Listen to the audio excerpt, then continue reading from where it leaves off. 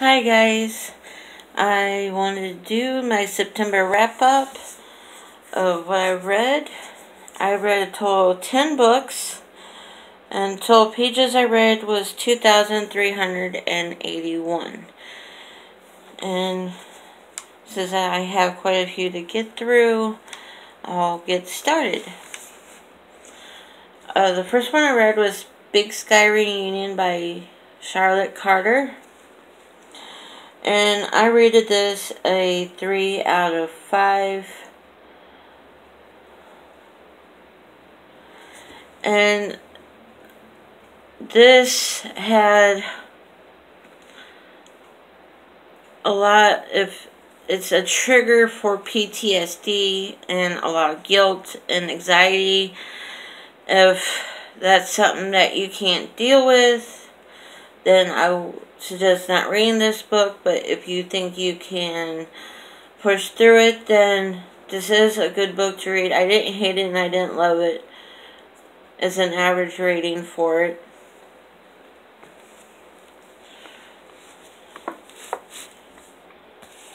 Then I read Babysitter's Little Sister Super Special Number 1, Karen's Wish.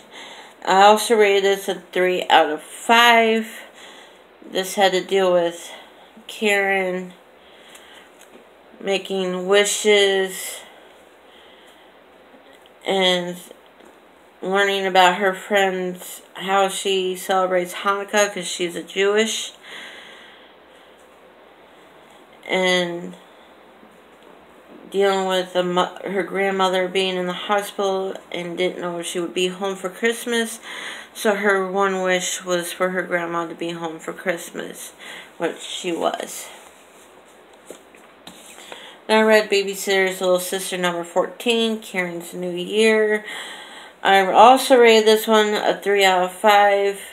I felt in this one that Karen took um, New Year's resolution a little too far and became a towel teller, which her family ended up turning around and being a towel teller of her because of things that she's broken. And then the next one that I finished is my favorite thing is monsters. Oh yeah. Karen, the babysitter's little sister books are written by Ann M. Martin, and my favorite thing is Monsters is written by um, Emil Ferris. I rated this a 4 out of 5. I felt that even though the first half of this or so, I had a hard time getting into it, I felt it was kind of boring. But then the last half of it was what changed it and bumped it up to a four star for me. Because of how it ended. I wasn't expecting the turns that it took. So it was a fairly good book.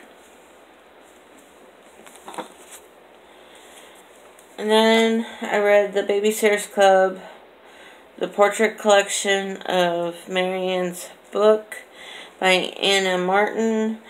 I rated this a 3 out of 5 stars.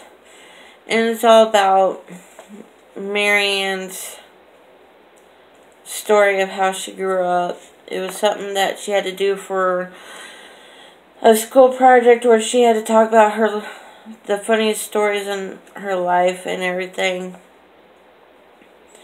It was alright. Um, the next book I read is The Cruel Prince by Holly Black. And I rated a 5 out of 5. I really love this book and it had the feel of um, The Court of Thorns and Roses by Sarah J. Maas because of the fairies, the magical background to it, how if any of you has read Sarah J. Maas's The Court of Thorn and Roses series, you know what I'm getting at with this. It just had the feels and that's why I liked it so much. I, it was it kept you on the on your toes, and you wanted to see how um the main character dealt with things. Next book is The House Husband by James Patterson with Duane Swierczynski. And I rated this a 5 out of 5. It was a quick read, but it was a good book altogether. It was a mystery. How this guy, um, Detective Beaumont, that was dead because there's been so many deaths with families and her and her partner had to figure out how these were happening till her partner got killed and she was starting to notice small details especially when she went back and looked at all the videotapes that they did of the scenes that her and her partner were doing till the guy showed up at her house and was about ready to kill her husband that she had. But he wanted to make a proposal to make her his wife. And come to find out the guy that was proposing this deal to her was the one who did all the killings. He might have seemed like he was dead at the scene when they went and looked at it, but he wasn't dead. He had his mindset on Detective Beaumont. But it ended up where he got arrested and she got hurt in the long run, but she's fine. I did listen to, I did read a ebook called The Duke's Shotgun Wedding by Stacy Reid.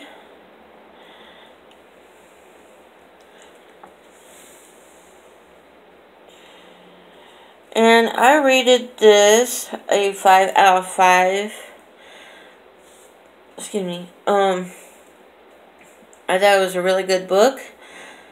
But I felt it was cut a little too short because it was a short book. But I wish it could have went on a little bit, just a little bit more but overall it was good. And I would recommend this ebook. Um, I did listen to a audiobook called Blood Run by Leah Ruth Robinson. It was first published in January of 1989.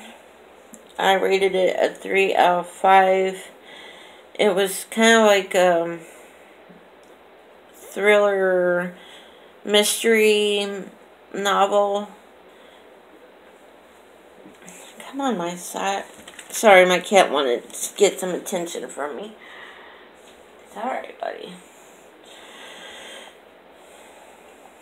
It wasn't my favorite for a thriller mystery novel, but I didn't hate it either. And then the last one I read, which I finished this one up last night, it was Legendary by Stephanie Garber. I rated this a 5 out of 5. And I love this. It was just as good as Caraval. I know not everybody thought so, or they thought this one was their favorite, or Caraval, vice versa. I felt it was just as good, and the ending was not what I was expecting for an ending, but it was really good and it kept you on your toes like Caraval did. And I recommend this book to anybody who hasn't read it yet. And that's it for my September wrap up. I hope you all have a great weekend and take care.